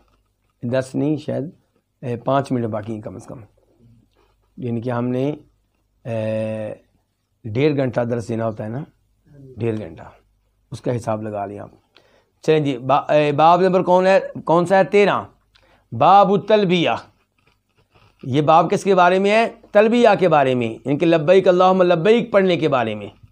तलबिया किसको कहते हैं? लब्बईक अल्लाह लब्बईक लब्बईक का मैंने क्या होता है? मैं हाज़िर हूँ। तो ये तलबिया के बारे में बाब है। हदीस नंबर सात सौ सतर सेवन सेवन सेवन। काफ। इस हदीस को बयान करने वाले इमाम कौन है? इमाम बुखारी और इमाम मुस्लिम। आनिबन उमर रदी समेत रसूल अल्लाह सल्लल्लाहु अलैहि वसल्लम युहिल्लु मुलब्बिदा यकूल लब्बैक लब्बैक लब्बैक ला शरीक लक लब्बैक इन्नल हम्दा वन्निअमत लक वल मुल्क ला शरीक लक जनाब अब्दुल्ला बिन उमर से रवायत है वो कहते हैं कि मैंने रसूलुल्लाह सल्लल्लाहु अलैहि को सुना युहिल्लु आप तलबिया पढ़ रहे थे यानी कि ऊँची आवाज़ से तलबिया पढ़ रहे थे युहिल्लु अहल्ला युहिल्लु बुनियादी तौर पे कहते हैं ऊँची आवाज़ से तलबिया पढ़ने को। तो आप ऊँची आवाज़ से तलबिया पढ़ रहे थे? मुलबिदन इस हाल में कि आप अपने बालों को जमाए हुए थे। क्या मतलब? यानी कि गूंद इस्तेमाल की जाती थी। क्या इस्तेमाल की जाती थी? गूंद इस्तेमाल की जाती थी और बालों पे लगा लेते थे। उसका फ़ायदा ये होता था कि बाल बिखरते नहीं थे। परागंदा नहीं होते थे। आपस में चिमटे रहते थे और इंसान बुरा नज़र नहीं आता था। और फिर बालों में वो मट्टी वगैरह भी दाखिल नहीं होती थी। तो आप ज़हर आप मदीना से मक्का जा रहे हैं, कितने दिन का सफ़र है? सात दिन का, आठ दिन का, ये इतना तवील सफ़र है। तो आपने फिर क्या किया? कि जब आपने जाने लगे तो आपने बालों को क्या किया हुआ था? गूंद वगैरह लगाई हुई थी, उनको जमाया हुआ था। तो मैंने सुना रसूलुल्लाह सल्लल्लाहु आप ऊँची आवाज़ से तलबिया पढ़ रहे थे मुलबिदन जबकि आप अपने बालों को जमाए हुए थे। यकूल, आप कह रहे थे लब्बईक अल्लाहुम लब्बईक मैं हाज़िर हूँ अल्लाह, मैं हाज़िर हूँ। अल्लाह अकबर। अल्लाह मुझे और आप सबको मौका दे बार बार उम्र करने का और हज करने का। लब्बईक ला शरीक रक लब्बईक मैं हाज़िर हूँ। तेरा कोई शरीक नहीं, मैं हाज़िर हूँ। तेरा कोई शरीक नहीं किसमें? ना इबादत में, न रबूबियत में, ना तेरे नामों में, न तेरी सिफात में। तेरा कोई भी शरीक नहीं है। ना कोई नबी, ना कोई फरिश्ता, ना कोई जिन, ना कोई वली। हर सजदा किसके लिए? अल्लाह के लिए। हर रकू का हकदार अल्लाह। जिसके लिए हर जानवर ज़िबा किया जाए, वो कौन है? एक अल्लाह। जिसके लिए मन्नत माने वो कौन है? सिर्फ़ एक अल्लाह। इन अलहमदा वनमत वल मुल्क बेशक तमाम तारीफ़ें और तमाम नेमतें तेरी हैं। हर तरह की तारीफ़ का हकदार तू। और सब नेमतें किसकी तरफ़ से? तेरी तरफ़ से। वलमुल्क का सारी बादशाही किसकी? तेरी। हर चीज़ का मालिक कौन है फिर? अल्लाह। और हर तारीफ़ का हकदार कौन है? अब देखें, हम अल्लाह के अलावा औरों की भी कभी कभी तारीफ़ कर देते हैं किसी वजह से। कोई खूबसूरत है तो हम उसकी तारीफ़ कर देते हैं। किसी के लंबा कद है तो हम उसकी तारीफ़ कर देते हैं। किसी के पास इल्म है तो हम उसकी तारीफ़ कर देते हैं। तो ये जो तारीफ़ हम कर रहे हैं किसी की, किसकी वजह से? इल्म की वजह से। उसको इल्म किसने दिया? तो हकीकत में वो तारीफ़ किसकी हुई फिर? अगर किसी के पास माल है कदो कामत है, सेहत है, जो भी हम किसी की तारीफ़ करते हैं, उस तारीफ़ का हकीकी हकदार कौन है? अल्लाह। तो तमाम तारीफ़ें अल्लाह की तमाम नेमतें अल्लाह तेरी और सारी बादशाही तेरी ला शरीक अल्लाह का तेरा कोई शरीक नहीं है। ला यजीद अला कलिमात आप इन अल्फाज पे इजाफ़ा नहीं करते थे। आप इन अल्फाज पे इजाफ़ा नहीं करते थे यानी कि इतना ही तलबिया कहते थे। इस तलबिए में आप इजाफी इजाफी कलिमात नहीं कहते थे। तो ये है नबी आसमाम का तलबिया, और इस तलबी को कहते हैं तलबिया तोहद, क्योंकि तोहद के ऊपर मुश्तमिल है। बार बार कहा जा रहा है, या अल्लाह, तेरा कोई शरीक नहीं, या अल्लाह, तेरा कोई शरीक नहीं। और मुस्लिम शरीफ की रवायत से पता चलता है कि अहल मक्का भी ये तलबिया पढ़ते थे। लेकिन वो आगे चल के क्या कहते थे? इल्ला शरीकन हुआ लका तम लिख वमा मलक। कि, या अल्लाह, तेरा कोई शरीक नहीं, सवाए उस शरीक के, कि जिसका तू मालक है। और जिन चीज़ों का वो मालक है उनका भी तू मालक है। यानी कि वो तेरे मुकाबल का तो नहीं है तेरे मुकाबले का नहीं, नहीं है लेकिन शरीक तो है। तो अल्लाह के रसूल सलाम जब उनसे तलबिया सुना करते थे उस ज़माने में आप कहा करते थे कद कद कद और रुक जाओ। तोहीद के अल्फाज काफ़ी हैं साथ शिर के अल्फाज ना मिलाओ। यानी कि इतना काफ़ी है लब्बैक अल्लाह लब्बैक लब्बैक ला शरीक रक लब्बैक। मैं हाज़िर हूँ, अल्लाह तेरा कोई शरीक नहीं। ये काफ़ी है, ये ना कहो, सवाए उस शरीक के। ये चोर रास्ता जो है ना, ये शिर का रास्ता, ये ना अपनाओ। ये ऐसे जैसे हम कहें, या अल्लाह मदद का नारा काफ़ी है, या रसुल्ला मदद का नारा ना लगाएँ, या अली मदद का नारा ना लगाएँ। अल्लाह रब्बुल इज़्ज़त से दुआ है कि अल्लाह ताला ये अहादीस ध्यान से, तवज्जो से पढ़ने की और इन पे अमल पैरा होने की, और उससे भी पहले इन पे ईमान लाने की तौफीक बख्शे। और अल्लाह ताला इस मामले में हमें इस्तकामत दे और अल्लाह ताला तौफीक दे कि हम इस किताब को आखिर तक और बड़े ही प्यार मोहब्बत से पढ़ें। अल्लाह ताला ही तौफीक देने वाला है। अल्लाह ताला आप लोगों के वक़्त में, आप लोगों की औलाद में, आप लोगों के रिज़क में, आप लोगों की सेहत में, आप लोगों के इल्म अमल में बरकतें डाले। व आखिर दावाना अलहमदिल्ला रबालमीन